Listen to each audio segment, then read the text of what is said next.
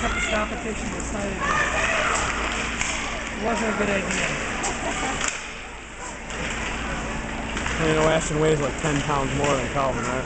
About how much? 10 pounds more than Calvin. Not really, but